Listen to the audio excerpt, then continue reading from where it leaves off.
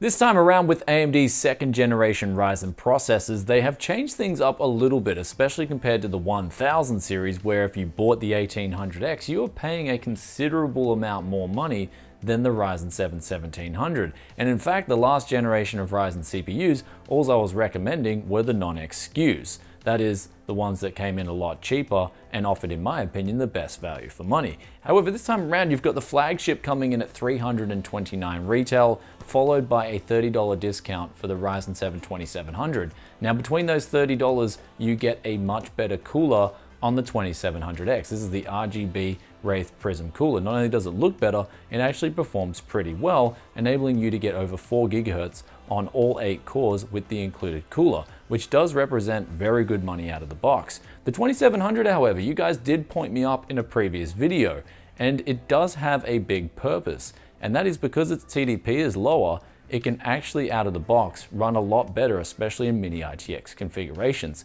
So I will pull up some numbers here for you guys. You can see the power consumption figures both out of the wall are a lot lower for the 2700 versus the 2700X. Even the 2600 comes in with a significant amount less power draw than the 2600X.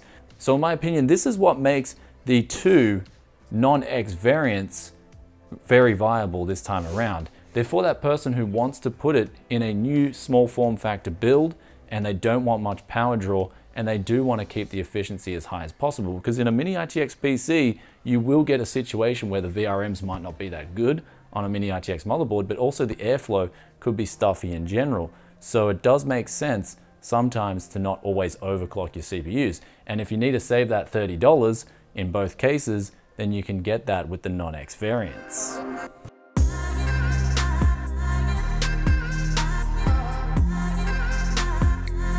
So today's video is going to be a little bit different in that I'm testing all these CPUs with their included stock coolers.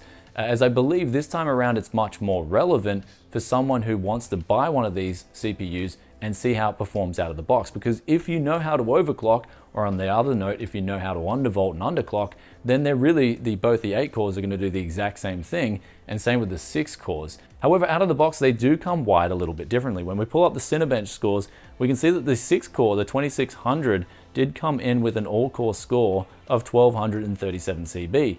The single threaded score went up to 158 CB as opposed to the X variant which went up to 1311 and 169 on a single core.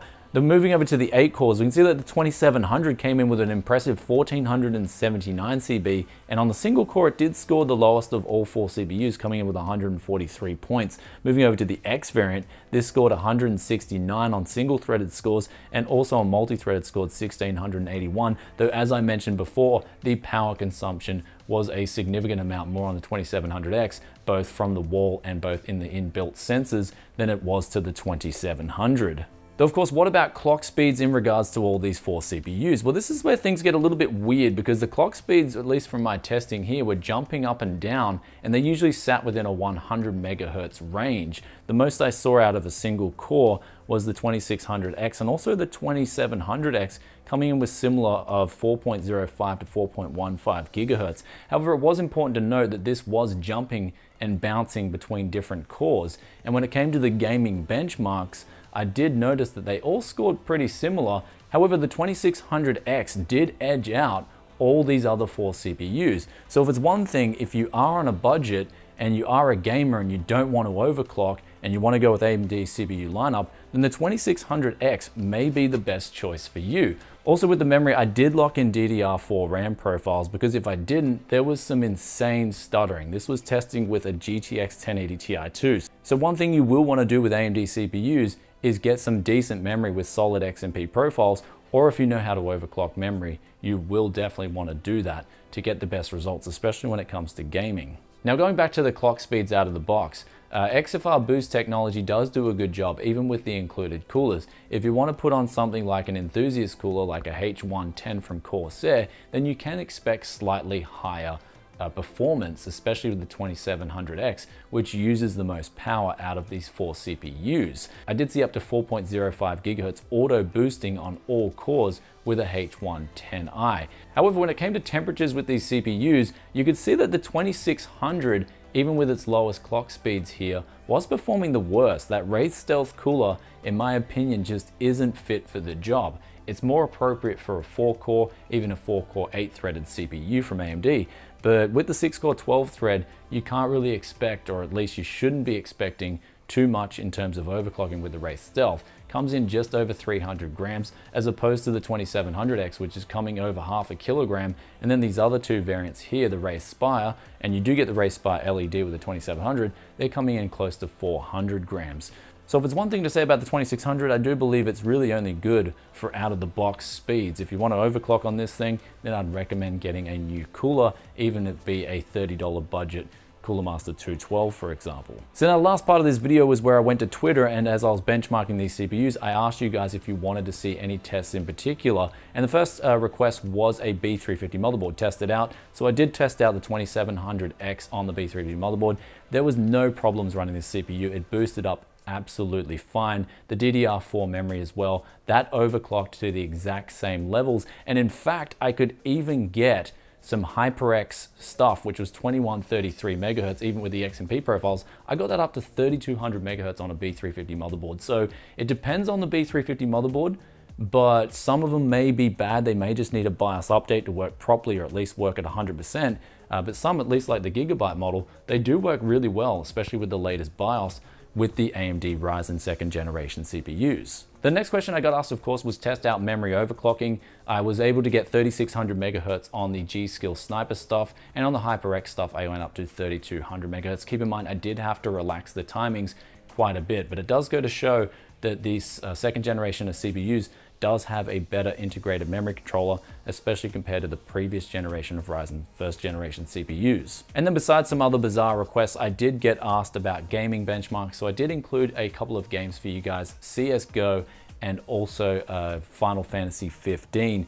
This just gave us some numbers that I really wanted to see and nothing was really out of the ordinary here. The 2600X out of the box with a GTX 1080 Ti, in my opinion, was performing the best out of these uh, four CPUs. And you're probably wondering why is the 2600X beating the 2700X? At least in CSGO, I believe it's got to do with the level 3 cache. This has more dedicated to 6 cores as opposed to this having the same amount dedicated to 8 cores. And of course, CSGO doesn't really take advantage of all those 8 cores, 16 threads perfectly. And then moving over to Final Fantasy 15, there was some pretty bad 0.1% low results here, but I do believe that has to do more so with the GPU because I was doing this at ultra wide. I wasn't actually testing it at 1440p, it was like 1440p ultra wide. So it was even that much more stressful than a 1440p benchmark. Uh, but the numbers were pretty similar in that uh, benchmark itself. So if you were going to go one CPU to the other and you were going for high resolution gaming, it wouldn't make that much of a difference at all. Though if you're a competitive gamer and you want to go with something from AMD, then the 2600X is probably your best bet.